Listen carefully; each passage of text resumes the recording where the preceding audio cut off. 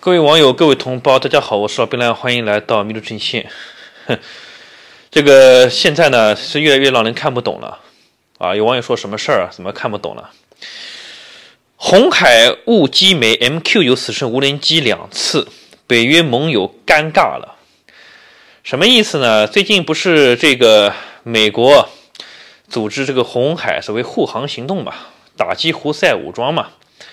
那么欧洲呢，也要独立于美国啊，觉得我们欧洲人很高贵，你美国也只不过都是我们一些后代啊，或者说你们美国人是粗鲁的，是不优雅的，是不得体的啊，你们不文明也不礼貌啊，穿衣服也没有品味，各方面都很粗暴啊，我们怎么能够跟着你美国大兵混呢？我们自己要组建一支欧洲军啊，我们称之为欧军 啊。这个是独独立于这个这个北约的，那么他们也要到红海来，所谓参加黄海行动。毕竟嘛，你天天管这些国际事务，要插手中国，要要要不爽伊朗，要制裁朝鲜，要干俄罗斯，你光靠嘴巴打嘴炮、口炮啊，像呆蛙一样的，对吧？用嘴巴的这个口水化作这个导弹向你发动进攻，或者说自己打飞机往屏幕上面射精液啊。作为这个啊洲际弹的导弹，那肯定显然是不行的啊！你必须还是要什么？要有一些普啊这些铁铁皮啊到前线去展现啊你自己的。用台湾的话来讲，小粉红快看大肌肉！啊，那么你去了嘛？你总归你要执行任务的吧？因为他们明确说不跟随美国，而是在法国的牵头下。有一支欧军，那么现在是什么情况？就是欧军把美军的无人机给打了，也就是说，他们这个说明什么情况呢？我们一起来分析一下。首先，我们来看这个新闻背景啊，德国海军一百二十四型萨克森级巡防舰黑森号赶赴红海驰援，但据画报以“我海军在红海尴尬了”为题。公开舰上雷达系统误将美国 MQ9 死神无人机当敌机，发射了两枚导弹。不过，据黎巴嫩马亚丁电视台引述相关报道称，幸运的是，德国这两枚标准二型拦截导弹都因技术原因，以致未能击中目标，最后落入大海。德国国防部发言人斯坦福勒说。当黑森号瞄准这架无人机并开火时，还不清楚这架无人机属于哪国，也不清楚它是否和任何盟国有关。事后，军事专问题专家戈维森指出，那是美军的无人机。呃，斯坦福勒强调，黑森号在开火前。曾联络所有的盟国，询问是否有无人机在战区。然而，当时并没有任何盟国表明在相关海域有自家的无人机。此外，后来有消息传出，现前也没有任何国家通报这架无人机。另一方面，据动力网二十八日报道，后来黑森号在红海近距离击落了两架也门亲胡塞武装的叛军无人机。黑森号在二月八日离开德国，抵达红海几天后才取的，目的是在帮忙保护周边的国际航道。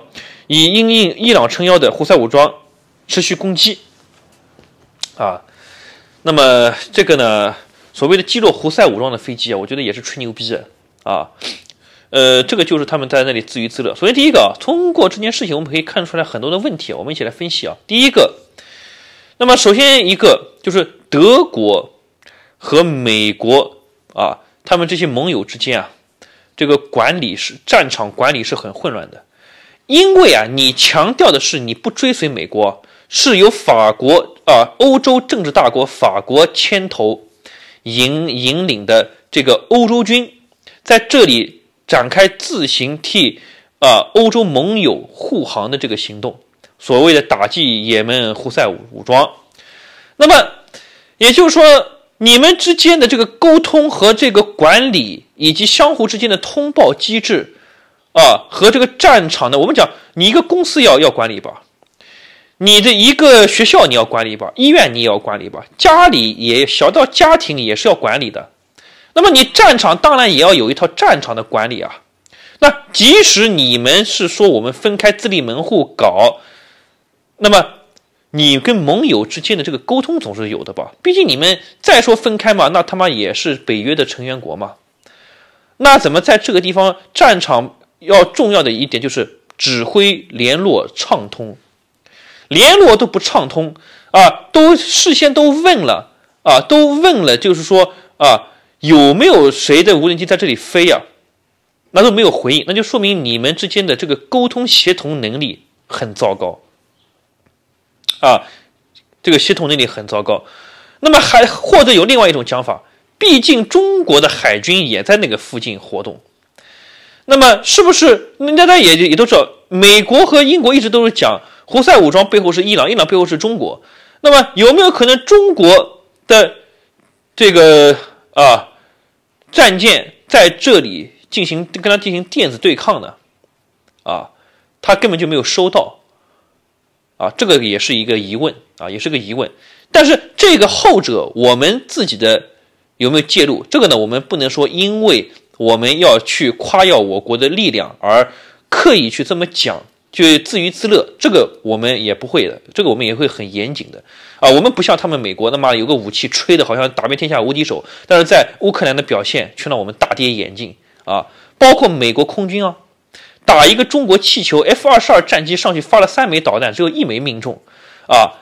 然后在这个密西根湖上空，美国青年俱乐部自己玩的玩具气球，美国 F 十六战斗机也上去打，发射两枚响尾蛇导弹，只命中一枚，啊，那么他们这个，而且打一个气球要美国要七架七种不同的型号的飞机啊，进行这个战场布控，那么是不是如果真正面对中俄这样的大国的时候，他们的整个指挥控制系统以及联络通讯系统啊？是不是都是会出很大的问题啊？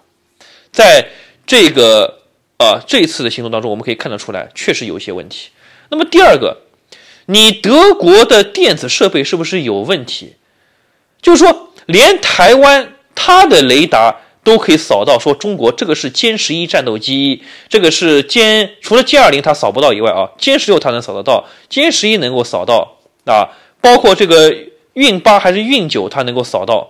啊，还然后还有这个是歼十，它也能够扫到，就说包括中国的无人机是什么型号的，它也能够扫到这个无人机是什么型号的啊。那连台湾这么垃圾的啊，这这一种我们叫做雷达啊通讯系统啊，连就是说雷达监测系统，它都能够什么准确的进行这个识别。除了歼二零它没有这个反隐身雷达之外，它扫不到，从来没有通报过。但是其他的时候，它还是能够通报出来的，对吧？那么你德国的这个战舰，难道连台湾都不如吗？你都没有办法扫描出来啊？这个无 MQ 九五死神无人机，这飞机那么那么巨大啊，还有那种全球鹰啊，这个飞机都很巨大的。你难道你的这个扫描系统不能够进行体积，就是它的体积的这个测算、距离的测算、飞行速度和飞行逻辑的这个测算吗？你这个东西你都没有，那你那你这个战舰上面的这个电子微电子作战系统和这些电电磁啊电子电就是说电子电路系统，你到底是个什么玩意儿，对吧？你到底是落后了多少代？你把多少年的老古董给它拿出来了？也就是说，你的战舰是不符合现代战争的所使用的。你看看中国的那些战舰，都是那个呃涂料，包括整个设计都是一码式的。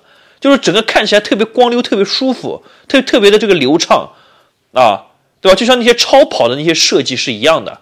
也就是说，如果说轮船里面分为军舰里面分为等级的话，中国都是这些啊，帕加尼啊，啊，不是科尼赛格或者说法拉利这种跑车。那德国的车子就是德国的军舰就是他妈逼啊，这种什么大众汽汽车就是这样的等级。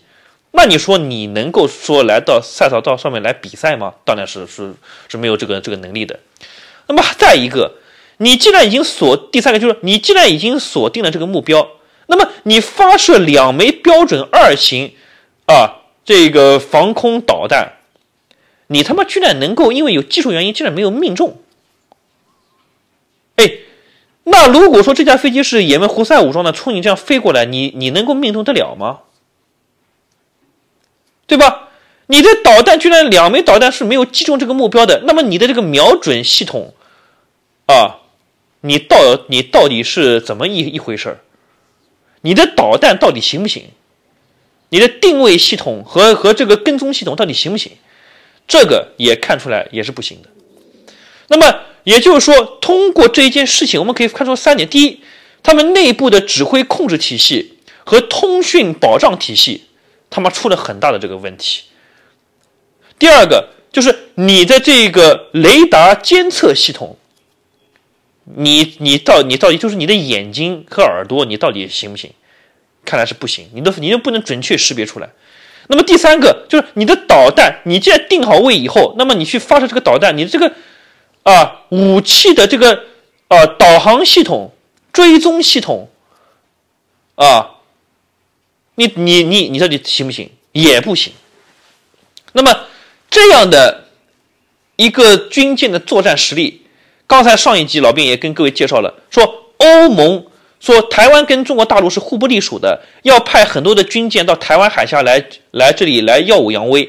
那么你在红海的这样的破旧的军舰的这种表现，你如果到台海来遇到解放军零五四 A 级导弹护卫舰，或者说最新下水的零五零五四 A 四 B 型啊大型导弹护卫舰。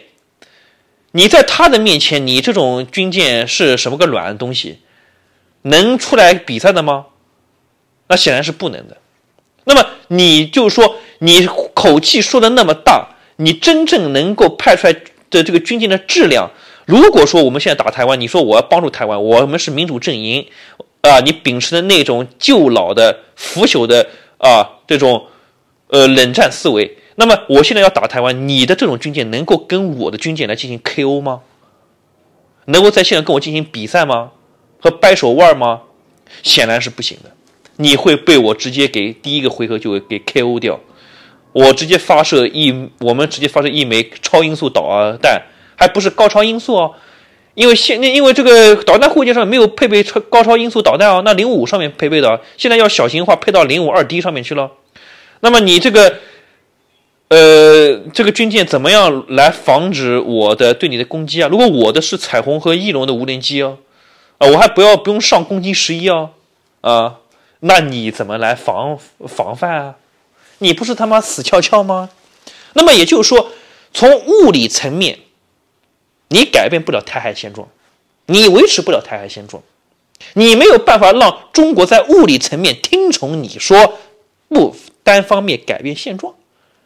你没有这个实力，你没有这个本事，没有这个本领，那么你在欧盟上面讲的这些什么台湾跟中国大陆互不隶属，中国所有的啊不包括台台海哦，就所有比如说钓鱼岛啊、南海啊，包括中印边境啊啊，或者说跟越南的这些领土争端啊啊，都他妈是非法的。